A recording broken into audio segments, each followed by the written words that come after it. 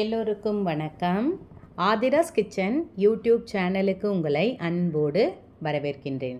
நல்லதை நினைப்போம் நல்லதை நடக்கும்னு சொல்லி இந்த பதிவை நான் ஆரம்பிக்கிறேன்.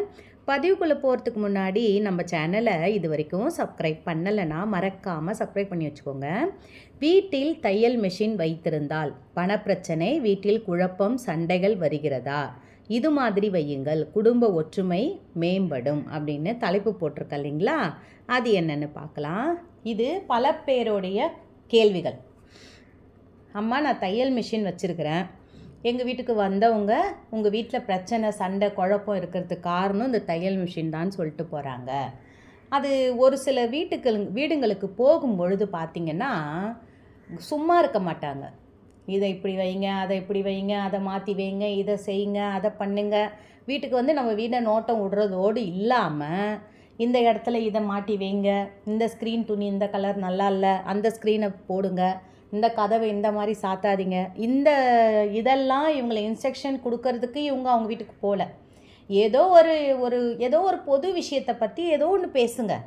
ஒரு ஒரு ஒரு யாரை ஒரு எப்படி சொல்கிறது ஏதாவது ஒரு விஷயம் தெரிஞ்சுக்கோங்க. ஏதாவது ஒரு விஷயத்த அவங்கக்கிட்டே இருந்து. அவங்க என்ன நல்லது பண்ணுறாங்கன்னு சொல்லிட்டு தெரிஞ்சுக்கோங்க. அதை விட்டுட்டு நம்ம அவங்க வீட்டுக்கு போயிட்டு அவங்க வீட்டு பூஜை அறையை திறக்கிறது திரியை இப்படி போடுங்க அப்படி போடுங்கன்னு சொல்கிறது பூவை எப்படி வைங்கன்றது சாமி இதை வைக்காதீங்க அதை வைக்காதீங்கன்றது அவங்களுக்கு அது ரொம்ப செட் ஆகும்.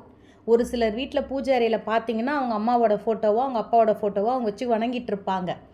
அது வந்து நான் பொதுவில் கேட்டால் எல்லாருமே சொல்லுவாங்க தான் இறந்தவங்களோட படத்தை பூஜை அறையில் வைக்கக்கூடாதுன்னு சொல்லுவாங்க தான். ஆனால் அவங்களுக்கு அது அவங்க தெய்வமாக வாழ்ந்தவங்கன்றதுனால அவங்க அதை வச்சு வணங்குறாங்க. அவங்களுக்கு அது செட் ஆகுதுன்னா அவங்க வச்சுக்கிட்டோம். நம்ம அதை சொல்ல தேவையில்லை. சரிங்களா? நான் என்னோடய வீடியோவில் கூட நீங்கள் கேட்டிங்கன்னா பாருங்களேன். இதை மாதிரி இருந்துச்சுன்னா உங்களுக்கு செட் ஆச்சுன்னா வச்சுக்குங்கப்பா வேணான்னா எடுத்துருங்கப்பா அப்படி தான் நான் சொல்லுவேனே தவிர இந்த மாதிரி நீங்கள் வைக்கக்கூடாது எடுத்துருங்க அதை பண்ணுங்கள் இதை பண்ணுங்கன்னு அவங்கள போயிட்டு நம்ம ரொம்ப அவங்கள மைண்டை வந்து களைச்சி விட்டுட்டு வந்துடுறது கேஸ் அடுப்பு இந்த கலரில் வாங்கியிருக்கீங்க கருப்பில் வாங்கக்கூடாது. என்ன இதெல்லாம்? அது வந்து சில்வரில் தான் இருக்கணும். சில்வரே முதல்ல அடுப்பு நம்மளுக்கு கிடையாது. மண் அடுப்பு தான் அதுக்கு முன்னாடி நம்ம அடுப்பு வச்சு ஏற்றினது அதுக்கப்புறம் சில்வர் அடுப்பு வந்தது. அதுக்கப்புறம் இப்போ நல்லா ஆகி அந்த சமமாக வேணும். ரொம்ப ஹைட்டாகுது சில்வர் அடுப்புன்றதுக்காக சமமாக அந்த கண்ணாடி கேஸ் ஸ்டாப்புன்னு இப்போ வந்திருக்குது கேஸ் ஸ்டவ்வு அதுலேயே மூணு பர்னர் வைக்கக்கூடாது. நாலு பர்னர் வைக்கணும். அதெல்லாம் நம்ம சொல்லவே தேவையில்லை. அவங்க இஷ்டம் அது வாங்கிட்டாங்க. அதை போய் நீங்கள் குறையா சொல்லிட்டோம்னா அவங்க மனசு அது உறுத்திக்கிட்டே இருக்கும். இது என்னடா இது? இவங்க இந்த மாதிரி சொல்லிட்டாங்களே மூணு பர்னர் வைக்கக்கூடாதுன்றாங்களே நாலு வைக்கணுன்றாங்களே அப்படின்னு. அந்த மாதிரி நம்ம எந்த ஒரு வீட்டுக்கு போனாலும் இந்த தையல் மிஷின் கூட நிறைய பேர் இது எனக்கு கொஷின் திரும்ப திரும்ப இந்த கொஷினை கேட்பாங்க என்கிட்ட. இந்த தையல் மிஷின் வச்சுருக்கிறது பிரச்சனை வரும்ன்றாங்களேம்மா வீட்டில் நான் தையல் தொழில் செய்கிறேன் அப்போ நான் தையல் மிஷின் வச்சு தானே ஆகணும். அப்போ எப்படி வீட்டில் சண்டை பிரச்சனை ஏன் வருது அப்படின்றத கேட்குறப்ப கேட்பாங்க. எப்போவுமே கத்திலாம் கத்தி இருக்கு இல்லைங்களா? இரும்பில் கத்தி அருவாமனை அப்புறம் வந்து கத்திரிக்கோல் இதெல்லாம் வந்து யார் கண்ணுக்கும் படாமல் மறைச்சி வைக்கிறது ரொம்ப ரொம்ப நல்லது தான் டக்குன்னு அது அதோடைய குணம் என்னென்னா அது வெட்டுறது. அதோடைய குணம் என்னென்னா அதோடைய அறுக்கிறது இல்லைங்களா? எழுந்தோடனே சில பேர் வாசல்லே அம்மி கல்லை போட்டு வச்சுருப்பாங்க. அதுக்கே ஒரு சிலர் அது உண்மைன்னு நம்ம நினச்சிக்குவோம். ஆனால் அம்மியும் கல்லும் இருக்கிற இடத்துல முகத்தில் அந்த அம்மி முகத்தில் முழிச்சிட்டு போனால் நம்மளுக்கு நல்லது தான் நடக்கும். ஆனால் போகிற போக்கில் எதையாவது சொல்லி விட்டு போயிடுறது. அந்த அம்மியை வந்து போடக்கூடாது வாசப்படியில் அப்படின்ற மாதிரி. இப்போது அம்மி உரல் இருக்குதுன்னா அதை கண்டிப்பாக தூக்கி போட்டுறாதீங்க. அதை நிச்சயம் நீங்கள் வீட்டில் வச்சுக்கிறது ரொம்ப நல்லது. அதே மாதிரி இன்னொரு விஷயம் சொல்கிறேன் ஒருத்தவங்க என்கிட்ட இதை கமெண்ட்ஸில் கேட்டிருந்தாங்க. அம்மியும் குழவியும் எங்கள் வீட்டில் இருந்துச்சுமா? வீடு மாற்றும் போது அம்மி வந்து செட் பண்ணிட்டாங்க. அதனால் குழவி மட்டும் நாங்கள் எடுத்துகிட்டு வந்துட்டோம் வீட்டுக்கு. இப்போ இந்த மாதிரி தனியாக பிரித்து வைக்கலாமா அப்படின்னு கேட்டிருந்தாங்க. அது வேறு வழி கிடையாது. இப்போ பிரித்து எடுக்க முடியாதுன்றதுனால குழவி மட்டுமாவது யூஸ் ஆகட்டும்னு அவங்க ஹஸ்பண்ட் எடுத்துன்னு வந்துட்டாங்க. ஆனால் நான் நம்ம நம்ம என்ன சொல்ல முடியும்? சரிம்மா இருக்கட்டும். அப்படியே வச்சுக்கோங்க. அப்படி இல்லை உங்கள் மனசுக்கு அது சரின்னு படலைன்னா ஒரு அம்மி ஒரு ஒரு அம்- அம்மியும் குழவியும் சேர்த்து ஒன்று செட்டாக சின்னதாக வாங்கிக்கோங்கம்மான்னு நான் கமெண்ட்ஸ் ரிப்ளை பண்ணேன். அந்த மாதிரி சொல்லி கொடுக்கலாமே தவிர இது தப்பு அது தப்பு இதை செய்யக்கூடாது அது செய்யக்கூடாதுன்னு உடனே எடுத்தோடனே அவசகுணமாக ஐயோ இதை ஏமா வாங்குனீங்க? இது நல்லது கிடையாது. இது கெட்டது. அப்படிலாம் நம்ம சொல்லவே கூடாது. சரி இந்த தையல் மிஷின் ஏன் அந்த மாதிரி ஒரு காரணம் வந்துச்சு? அப்படியே உங்களுக்கு ஒரு நெருடல் இருக்குது.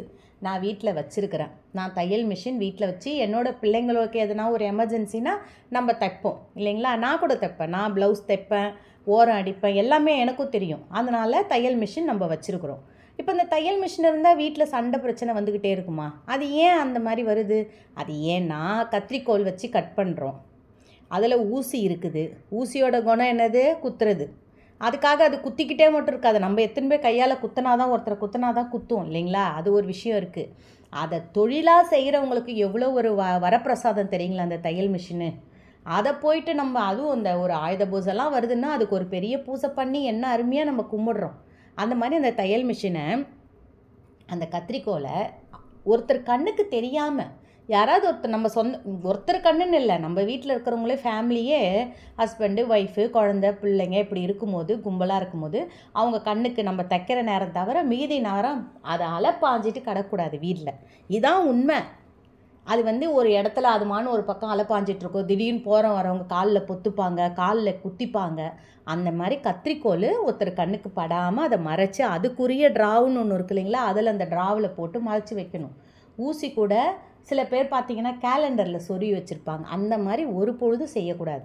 ஊசியை நூலில் சொருவி அதை சுற்றி அதை எந்த பர்ஸில் வைக்கணுமோ எந்த மாதிரி அதை ஒரு பாக்ஸ் போட்டு வச்சுருக்குறோமோ அந்த பாக்ஸில் அந்த ஊசி நூலை நம்ம மறைச்சி வைக்கணும். அப்போ அந்த வீட்டில் பிரச்சனை இருக்காது. நிம்ம இது சில நேரம் எப்பவுமே நான் சொல்கிற தையல் மிஷின் இருக்குன்னா அந்த வீட்டில் பிரச்சனை வருதுலாம் நீங்கள் எடுத்துக்கவே எடுத்துக்காதீங்க. இன்னொரு விஷயம் சொல்கிறேன் இந்த ஊசி இதுக்கு நிறைய பேர் தையல் மிஷின் வாங்கும்பொழுதே அதுக்கு ஒரு மூடியோடு சேர்த்து வாங்குறவங்க உண்டு. ஒரு சிலர் அதுக்கு சேர்த்து மூடியோடு வாங்க மாட்டாங்க. மிஷின் மட்டும் வாங்கிட்டு வந்துடுவாங்க அப்போ என்ன பண்ணலாம்? ஒரு பெரிய போர்வை எடுத்துக்கோங்க. உங்களுக்கு மனசுக்கு உங்கள் மனசுக்கு நம்ம மனசுக்கு சரின்னு படலை. இது தையல் மிஷின் வாங்கலைன்னு தான் சண்டை. இந்த மிஷின் வந்ததுலேருந்து தான் பிரச்சனை. அப்படின்னு நம்ம நினைக்கிறவங்களுக்கு இல்லை இல்லை எனக்கு இது ரொம்ப ரொம்ப நல்லது. எனக்கு இந்த வீட்டுக்கு வந்ததுலேருந்து எனக்கு இந்த தையல் மிஷின் வந்ததுலேருந்து எனக்கு நிறைய கை செலவு காசு இருக்குது எனக்கு. நான் தச்சு கொடுத்து ஒருத்தர் தச் ஒரு பொருளை தச்சு கொடுத்து அது மூலிமா நான் சம்பாதிக்கிறேன். அப்படின்றவங்களுக்கு எந்த குறையும் நம்ம கண்ணுக்கு தெரியாது.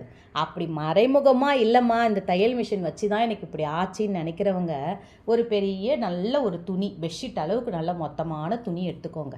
அதை எடுத்து அழகாக கட்டமாக ஆக்கி அந்த தையல் மிஷினை மூடி வச்சிருங்க. அந்த ஊசி எப்பவுமே உங்கள் கண்ணுக்கு தெரியாத அளவுக்கு அதை மூடி வச்சுருங்க. கண்டிப்பாக சொல்கிறேங்க நல்ல ரிஃப்ளெக்ட் தெரியும்.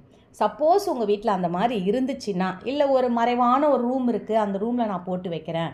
என் பிள்ளைங்க கண்ணுக்கெலாம் தெரியாத அளவுக்கு நான் அதில் வைக்கிறேன். அதை விட இன்னொருத்தவங்க நிறைய பேர் கேட்குறீங்க என் பொண் என் பிள்ளைங்க வந்து சொல்கிற பேச்சை கேட்க மாட்டேங்கிறாங்க. விநாயகரை போய் வணங்குங்க விநாயகரை கும்பிடுங்க. அம்மா அப்பா கே பேச்சை கேட்குற பிள்ளைங்க உண்மையாலுமே சொல்கிறேங்க இந்த விநாயகர் முருகர் இவங்கெல்லாம் நம்ம வணங்க வணங்க நம்மளுக்கு கண்டிப்பாக மாற்றம் தெரியும். நிச்சயமாக நம்மளுக்கு ஒரு ஒரு தகாத ஒரு விஷயத்தில் இருக்கிறாங்கன்னா உடனே ச அந்த செவ்வாய்க்கிழமையில் போயிட்டு ராகு காலத்தில் போயிட்டு துர்காதேவிக்கு விளக்கு போடுங்க. நிச்சயமாக இதெல்லாம் ரிலீஸ் கிடைக்கும். இந்த கெட்ட உறவை பிரிக்கும் பிரிப்பாங்க அவங்க. அதே மாதிரி விநாயகருக்கு தொடர்ந்து விளக்கு போடுங்க. நிச்சயமாக பிள்ளைங்க நல்லா படித்து நல்ல வேலைக்கு போய் நல்ல ஒரு பேர் எடுத்து உங்களுக்கு நல்லதே செய்வாங்க. இந்த தையல் மிஷின் இருக்குதேன்ட்டு கவலைப்படாதீங்க. இதை நான் அப்படி அப்படி சப்போஸ் மனசு கஷ்டமாக இருந்தால் மட்டும் நான் சொன்ன மாதிரி இதை மூடி வச்சிருங்க. எந்த பிரச்சனையும் வீட்டில் இருக்காது. நல்லதே நடக்கும். நான் இன்னொரு வீடியோவோடு நான் உங்களை மீட் பண்ணுறேன்